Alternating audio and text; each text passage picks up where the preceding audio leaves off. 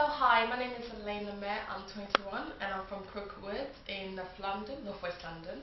Um, I really have a passion for food, I love food. For my work to be recognised, not just as a chef but also, not just as a student but also as a chef and to be a part of the biggest event right now in the planet for next year.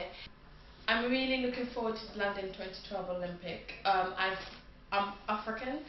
and uh, we had an opportunity to have an Olympic in South Africa, not far from Congo where I'm originally from, and I was unable to go. So I want to be a part of London as London is my second home, I consider it after living here almost 15 years.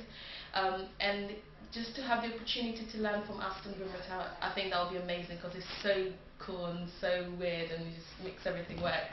And I like to take food to a next level and I hope that he will be able to help me. So I'm looking forward. It's so much a lot to me and my work to be, you know, your customers are eating it in BA flight, amazing. Who could possibly wish for more than that? So I'm really looking forward to this competition and I hope you will give me a chance um, to be a part of it and to be a part of history for London 2012 Olympic. Thank you very, very much.